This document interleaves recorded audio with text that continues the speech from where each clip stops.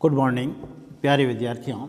आज हम पढ़ेंगे निराला की काव्यगत विशेषताएँ, जिसके अंतर्गत अपन मुख्य लेंगे भाषा, अलंकार और छंद योजना को। इन तीनों चीज़ों का अपन ज़िक्र करेंगे कि इनकी काव्यगत भाषा कैसी हैं और छंद योजना क्या हैं, अलंकार योजना क्या है।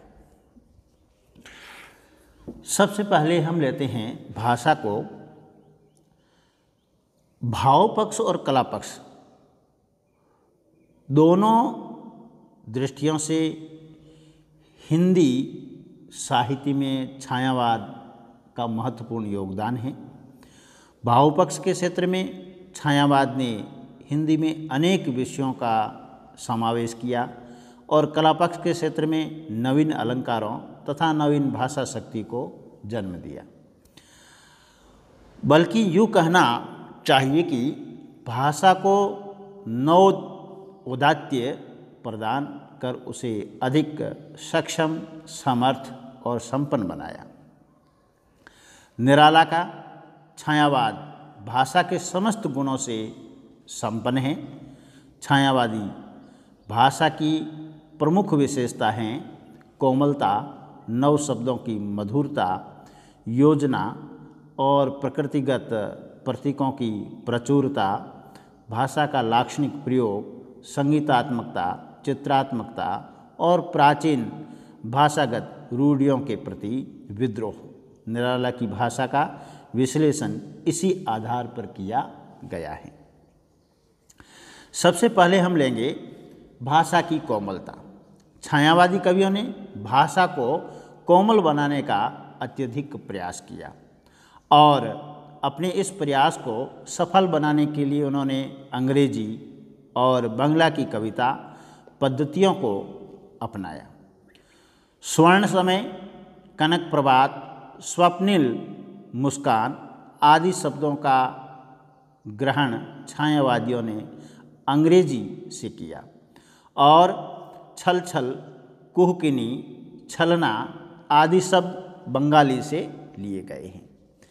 सभी छायावादी कवियों की भाषा में कोमलता है, दार्शनिक गहनता के कारण निराला की भाषा में यह गुण अपेक्षाकृत कम मिलता है, किंतु इसका अभाव नहीं है। देखते हैं इनकी कविता, कहते हैं यह, कहाँ कनक कोरों के नीरो अश्रुकणों में भर मुस्कान, विरह मिलन का एक साथ ही खिल पड़ते हुए भाव महान। ये था इनकी भाषा में कोमलता। फिर आता है नवीन शब्दों की मधुर योजना का ज़िक्र। प्रत्येक छायावादी ने अपनी भाषा में भाव अनुसारिणी, भावों के अनुसार बनाने के लिए नए नए शब्दों की मधुर योजना की हैं। नंददास की भांति पंत तो इस क्षेत्र में शब्दों के जड़िया कहे जा सकते हैं। शब्दों के सुंदर पहचान का अद्भुत परिचय निराला की भाषा में मिलता है। इनकी शब्द विधान में भाव और विचार भी आत्मसाकार हो उठी हैं। कहते हैं, अली अलकों के तरल तमीर में किसकी तलोल लहर अज्ञात जिसके गूढ़ मर्म में निश्चल शशिसा सुख, ज्योत्सनासी गात। फिर इन्होंने अपनी कविता में प्रकृतिगत प्रतीकों को भी स्थान दिया है और प्रचुर मात्रा में इन प्रतीकों का उपयोग किया है।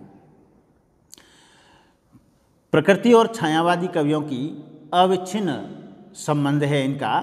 छायावादी काव्य में प्रकृति का प्रयोग इतने अधिक रूपों में हुआ है कि आलोचक छायावादी काव्य को प्रकृति काव्य कह देते हैं। छायावादी कवियों ने प्रकृति और उसके उपादानों का उपयोग जिस कुशलता से, भाव क्षेत्र में किया है, उसी कुशलता से कला पक्ष के क्षेत्र में भी किया है। प्रकृतिगत प्रतीकों के द्वारा उन्होंने अपनी अभिव्यंजना, शक्ति एवं भाव उत्पादकता प्रदान की है। अन्य छायावादी कवियों की भांति निराला ने भी प्रकृतिगत प्रतीकों का अपनी भाषा में प्रचुरता से प्रयोग किया है। कहते हैं, वहाँ नयनों में कोमल प्रातः, चंद्र ज्योत्सना की केवल गात, रेणु छाए ही रहते पात, मंद की बहती सदा बयात। यहाँ प्रात, चंद्र, ज्योत्सना और रेणु क्रमशः स्फूर्ति शांति और शीतलता के प्रतीक हैं। इस प्रकार के प्राकृतिक प्रतीकों की सर्वतः सफल योजना यहाँ मिलती है। फिर हम आते हैं भाषा की लाक्षणिकता पर कि भाषा में लाक्षणिक प्रयोग जो है, वह निराला की कविता में किस प्रकार से हुआ। भाषा का लाक्षणिक प्रयोग छायावाद की विशेषता रही है। युगीन परिस्थितियों से प्रभावित होकर ही छायावादियों को लाक्षणिक प्रयोग की आवश्यकता हुई। निराला की भाषा में लाक्षणिक प्रयोगों का प्राचुर्य मिलता है। जैसे देखते हैं अपने, बहती जाती साथ तुम्हारी स्मृतियाँ कितनी, दग्ध चिंता के कितने हाहाकार। यहाँ दग्ध चिंता के हाहाकार और स्मृतियों का बहना लाक्षणिक प्रयोग हैं। निराला के काव्य में लाक्षणिक प्रयोगों की निश्चय ही भरमार हैं। दार्शनिकता के अनेकस स्वतः ही लाक्षणिकता का विधान कर दिया है। कहीं कहीं वह बोझिल भी हो उठी हैं, पर सर्वत्र ऐसा नहीं है। फिर आता है भाषा के क्षेत्र में अगला बिंदु, संगीतात्मकता। छायावादी काव्य वास्तव में व्यक्तिक अनुभूतियों का काव्य हैं। ऐसा होने के कारण ही इनका स्वरूप, विधान, गीत काव्य प्रधान है। अतः उसमें संगीतात्मकता की योजना सहज और स्वाभाविक ही है। संगीतात्मक भाषा का छायावादी कवियों ने बहुलता से प्रयोग किया है। तुक के संगीत को उन्होंने बहिष्कृत सा कर दिया है और उसके स्थान पर लय संगीत की प्राथमिकता दी है। निराला की भाषा में लय संगीत का प्राधान्य है, बल्कि निराला को तो लय संगीत का आविष्कार करता ही कहना चाहिए। छंदों की मुक्ति के बाद ही लय संगीत का विधान हुआ और नीचे ही निराला इसके प्रयोगता हैं। एक उदाहरण यहाँ देखते हैं। प्रिय मुदित दृग खोलो, जीवन प्रसुन वह व्रतहीन, खुल गया उषा नभ के नवीन, धाराएँ ज्योति भी उर्भर बह चली चतुर्दिश। कर्मलीन, तुम भी निज तरुण तरग खोल नव अरुण सह हो लो। फिर इनकी भाषा में चित्रात्मकता है। छायावादी कवियों में चित्र प्रस्तुत करने की अद्भुत क्षमता है। वे शब्दों के बल पर ही भाव चित्र प्रस्तुत करने में समर्थ हैं। और चित्रमयता, छायावादी काव्य की एक प्रमुख विशेषता के रूप में हमारे सामने उभर कर सामने आई। निराला की संध्या सुंदरी कविता में एक संध्या सुंदरी का यहाँ चित्र प्रस्तुत हैं। क्या कह रहे हैं? दिवस अवसान का समय मेघमय आसमान से उतर रही हैं। वह संध्या सुंदरी परिसी धीरे धीरे धीरे तिमिर आंचल में चंचलता का नहीं, कहीं आभास मधुर मधुर हैं दोनों उसके अधर, किंतु जरा गंभीर नहीं है उसमें हास विलास। इन चित्रों के विधान, उनकी अन्य कविताओं में भी हमें देखने को मिलता है। फिर आता है कि निराला की कविता में रूढ़ियों का विरोध। परंपराओं और रूढ़ियों का इन्होंने विरोध किया है। छायावाद का जन्म ही विद्रोह की भूमिका पर हुआ था। परिणाम स्वरूप छायावादी कवि और साहित्य में विद्रोह की भावना लेकर अवतीर्ण हुए। प्राचीन रूढ़ियों से इन्हें न तो लगाव था और न ही उसके प्रति कुछ आस्था थी। भाषा के विषय में उन्होंने विद्रोहात्मक प्रवृत्ति से काम लिया। उन्होंने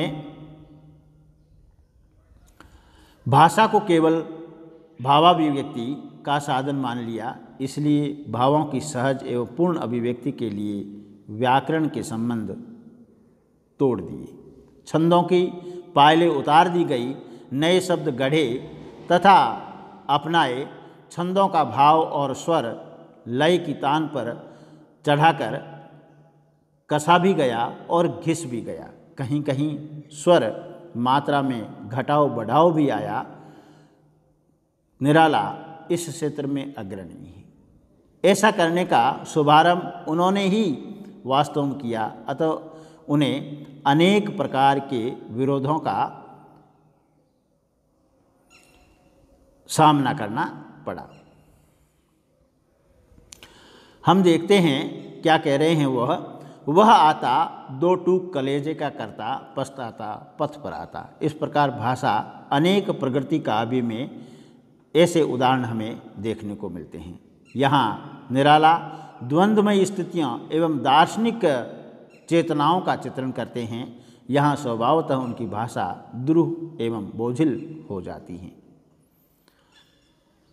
निराला की राम की शक्ति पूजा इसी प्रकार से जहाँ उनकी भाषा का क्लिष्ट रूप हमें देखने को मिलता है, वहाँ तत्सम शब्दों के अतिरिक्त समान पद्धति के भी दर्शन होते हैं। राघव, लाघव, रावण, वारण, गत युगम प्रहार, उद्धृत लंकापति मुर्दित, कपिदल, बल विस्तार अनिमेश राम विश्व जिद्विद्य सर्भंग भाव, दिव्यांग, बद्ध, को दंड मुष्टि, खर्म, रुधिर रुधिर श्राव श्रावण प्रहार दुर्, निवार विकल वानर दल बल, मूर्षित सुग्रीव, अगंध भीषण, गवाक्ष गैदल वारित सौमित्र भलपति अंगणित मलरोध गर्जित पल्या, प्रलय अवधि शुद्ध हनुमंत केवल प्रबोध। फिर भी कहना,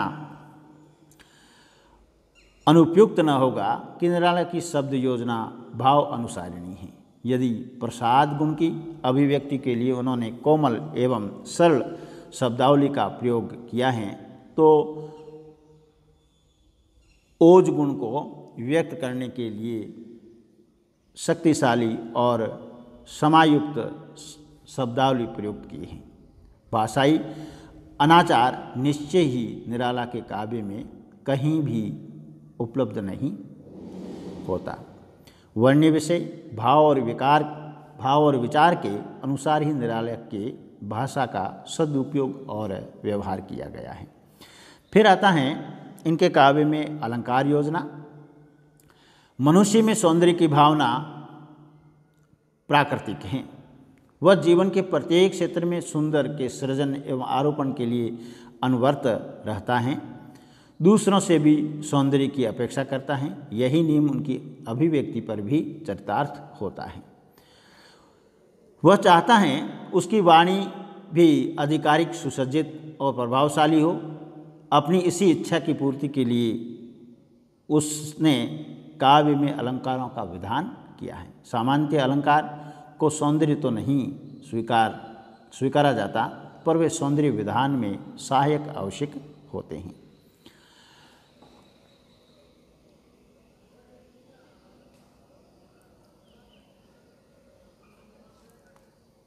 निराला के काव्य में हमें अलग अलग प्रकार के अलंकार देखने को मिल जाएँगे।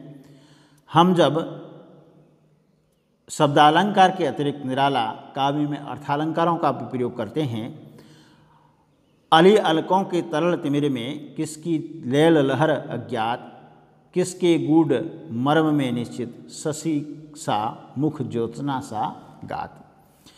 इन पंक्तियों में उपमा अलंकार हैं। और प्रभाव समय का प्राधान्य है। संदेह अलंकार का भी इन्होंने सफल प्रयोग किया। तू किसी के चित्त की है कलिका, तू किसी के चित्त की है कलिमा, या किसी कमनीय की, कमनीयता, या किसी दुखहीन की है आह तू, या किसी तरु की तरुण अनित अनित लता छायावाद काव्य में ध्वनि चित्रण का नाद व्यंजना में भी पर्याप्त उदाहरण हमें देखने को मिलता है। निराला के काव्य में इन उदाहरणों का भाव या अभाव नहीं है।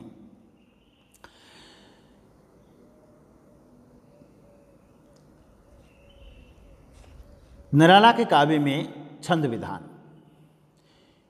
एक समय था जब छंद काव्य का अनिवार्य अंग माना जाता था, किंतु आधुनिक काल में छंद का महत्व अस्वीकार कर दिया गया। निराला तो यहाँ तक कहते हैं कि काव्य का वास्तविक विकास छंदों के बंधन से मुक्त होकर होता है। ये लिखते हैं, मनुष्य की मुक्ति की तरह कविता की भी मुक्ति होती है। मनुष्य की मुक्ति कर्मों के बंधन से छुटकारा पाना है और कविता की मुक्ति छंदों के शासन से अलग हो जाना है। उसी तरह मुक्त मनुष्य कभी किसी तरह भी दूसरे के प्रतिकूल आचरण नहीं करता। इसके तमाम कार्य और कार्य औरों को प्रसन्न करने के लिए होते हैं, फिर भी स्वतंत्र। इसी तरह कविता का भी हाल है।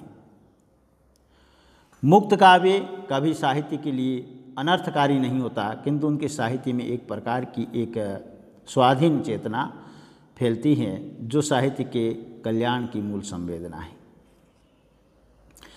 निराला ने मुक्त छंदों का बड़ी सफलता से प्रयोग किया है और हम देखते हैं यहाँ पर उनकी कविता में मुक्त छंद, फिर क्या पवन, उपवन, सन सरिता, गहन गिरी कानन, कुंजलता, पुंजों को पार कर पहुँचा जहाँ उसने की केली, कली खिली साथ। यहाँ पवन से लेकर कानंत की अधिकतर इकहरे वर्गों वाली पंक्तियाँ एक सांस में पढ़ी जा सकती हैं। लगता है, जैसे पवन बेरोक टोक बढ़ रही हैं, किंतु तीसरी पंक्ति में लघु वर्ण, वर्णों की योजना और कुंज तथा पुंज के संयुक्त अक्षर मानव भवन, पवन के मार्ग में अटकाव बनकर अड़े हैं। उसे झाड़ी झुरमुटों में उलझन या उलझ उलझ कर आगे बढ़ना पड़ रहा हो और पहुँचा का आकार तो तो जैसी सारी क्रिया की समाप्ति पर अपेक्षित विराम स्थल का या विराम स्थल की सूचना देता है। यही स्वाभाविक विशेषता है। स्वाभाविक आरोह अवरोह ही है मुक्त छंद की विशेषता। मुक्त छंद के अतिरिक्त निराला ने तुकांत कविताएँ भी लिखी, भारती जय विजय करे कनक शस्य कमल धरे, लंका पद्दल सतदल, गर्जित उर्मी, सागर जल, धोता सुचि चरण युगल स्व स्तव कर, बहु अर्थ भरे। हम यहाँ देखते हैं कि निराला भाषा, वाणी की, भाव और विचार की अंतरक वाटिका तो होती ही हैं। उसका श्रृंगार भी मानी जाती हैं भाव और कलापक्ष दोनों दृष्टियों से हिंदी साहित्य में छायावाद का महत्वपूर्ण योगदान है। भाव के क्षेत्र में छायावाद ने हिंदी में अनेक विषयों का समावेश किया है। कला के क्षेत्र में नवीन अलंकारों को तथा नवीन भाषा शक्ति को जन्म दिया, बल्कि यूँ कहना चाहिए कि भाषा को नव उदात्य प्रदान कर उसे अधिक सक्षम, समर्थ एवं संपन्न बनाया। निराला का छायावाद भाषा के समस्त गुणों से संपन्न है। छायावादी भाषा की प्रमुख विशेषता हैं कोमल नव शब्दों की प्रचुर योजना। प्रकृतिगत प्रतीकों की प्रचुरता, भाषा का लाक्षणिक प्रयोग, संगीतात्मकता, चित्रात्मकता, प्राचीन भाषागत रूढ़ियों के प्रति विद्रोह, निराला की भाषा का विश्लेषण भी इसी आधार पर किया गया है। प्यारे विद्यार्थियों, आज हम बस इतना ही पढ़ेंगे। कल हम इसके आगे का टॉपिक लेंगे। तब तक के लिए धन्यवाद।